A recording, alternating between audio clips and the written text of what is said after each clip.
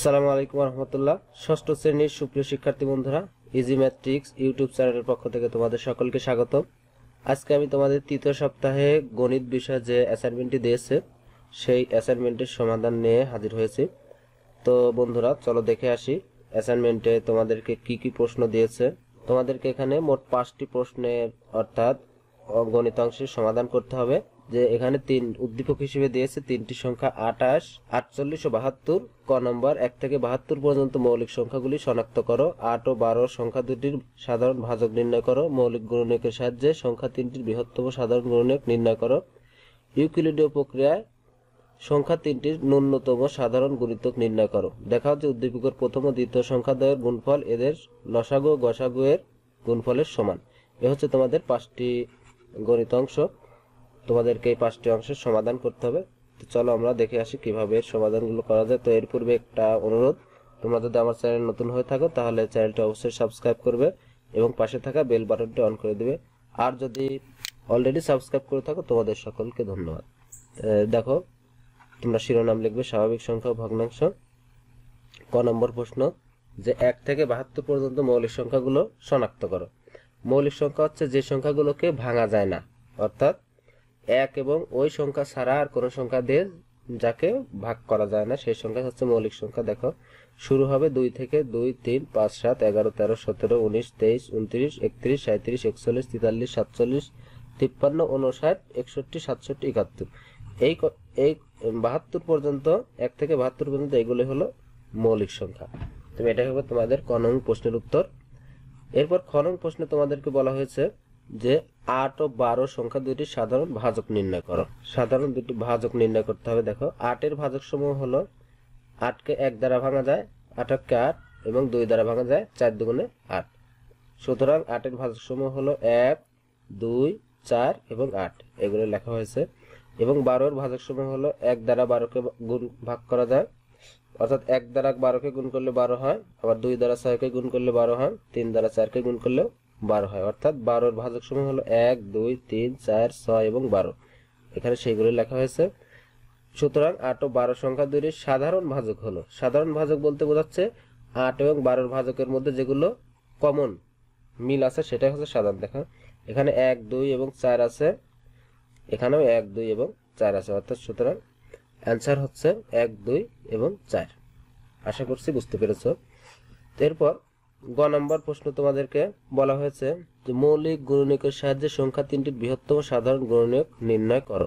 এখানে মৌলিক গুণনীয়কের সাহায্যে সংখ্যা তিনটির বৃহত্তম সাধারণ গুণনীয়ক নির্ণয় করা হলো সংখ্যা তিনটি আঠাশ, আটচল্লিশ ও বাহাত্তর। আঠাশকে ভাঙা যায় এভাবে এক গুণ, দুই গুণ দুই গুণ সাত, অর্থাৎ দুই এককে দুই দুই দুগুণে চার চার সাতটা আঠাশ। এভাবে ভাঙা যায়, আটচল্লিশকে এভাবে ভাঙা যায় এবং বাহাত্তরকে এইভাবে ভাঙা যায়, দেখো। সুতরাং আঠাশের গুণনকগুলো হলো এক, দুই, চার, সাত এবং আঠাশ। আটচল্লিশের গুণনকগুলো হলো এক, দুই, তিন, চার, ছয়, বারো, ষোলো, আটচল্লিশ। বাহাত্তরের গুণনক হলো এক, দুই, তিন, চার, ছয়, আট, নয়, বারো, আঠারো, চব্বিশ, ছত্রিশ, বাহাত্তর।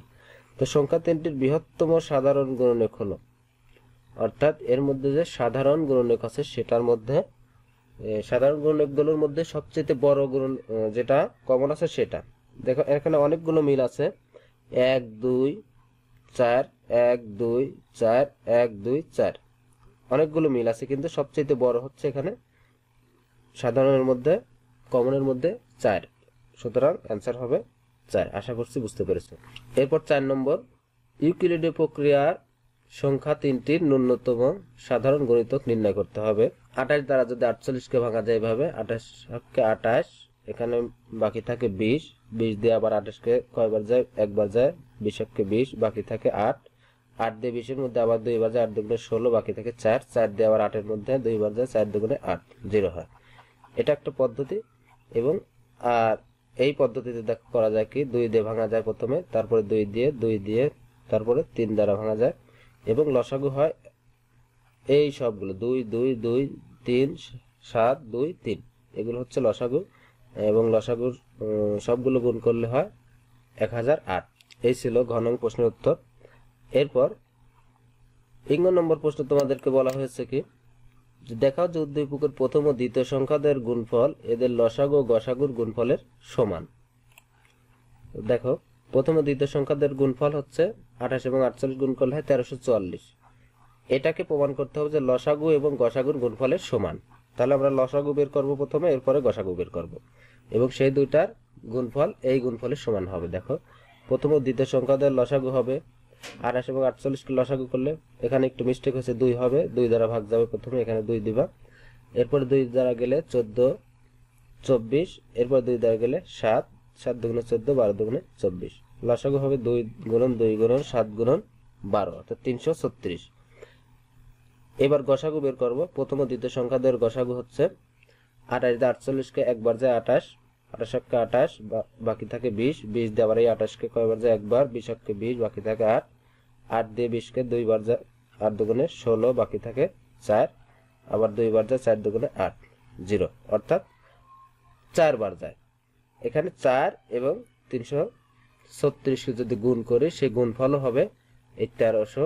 প্রথম ও দ্বিতীয় সংখ্যাদের গুণফলের সমান, অর্থাৎ তেরোশো চুয়াল্লিশ।